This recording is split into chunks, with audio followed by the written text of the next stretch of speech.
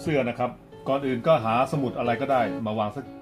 อันหนึ่งก่อนนะฮะ แล้วก็จากนั้นก็เอาชิ้นงานหรือว่าเสื้อของท่านเนี่ยวางลงบนนี้ นี่คือเฟกที่เราจะรีดในวันนี้นะครับนนี้ด้านหลังจะเป็นสีขาวที่เห็นนี่คือ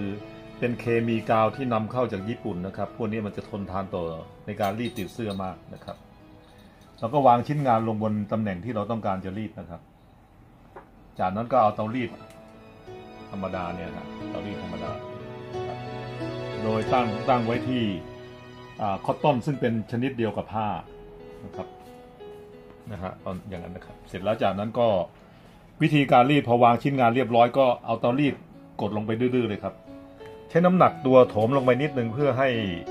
แรงกาวเนี่ยมันติดแน่นกับชิ้นงานกดลงไปแล้วนับหนึ่งถึงสิบสองนะครับนับในใจก็ได้นะครับ อเคถึงสิบสองแล้ว จากนั้นก็ค่อยๆยกเตารีดขึ้น วิธีการตอนนี้อย่าเพิ่งไปดึงออกนะฮะ ถ้าดึงออกแล้วเนี่ย มันจะทำให้เคมีต่างๆ ยังไม่แน่น เพราะนั้นหาอะไรก็ได้เป็นสมุดอะไรก็ได้เนี่ยบางๆ อ่าไม่ใช่ หมายถึงว่าที่มันเย็นๆหน่อยอะกดลงไป อันนี้กดธรรมดา เพื่อให้มันคลายความร้อนเท่านั้นเอง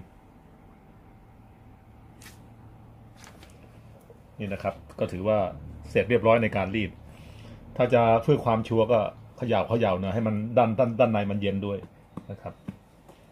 จากนั้นเดี๋ยวผมจะลองรีดอาจจะลองดึงให้ดูนะครับ วิธีการดึงก็ง่าย ๆ ไม่มีอะไรก็ ดึงที่ปลายแล้วก็ดึงออกมา แค่นี้ฮะเสร็จแล้ว ถ้าเรายังเกรงว่าเอ๊ะมันจะแน่นหรือไม่แน่นนะฮะก็เอาไอ้พลาสติกที่ว่านี่นะครับ ทับลงไปอีกทีหนึ่งจะกดอีกทีหนึ่งก็ได้เอาเตารีด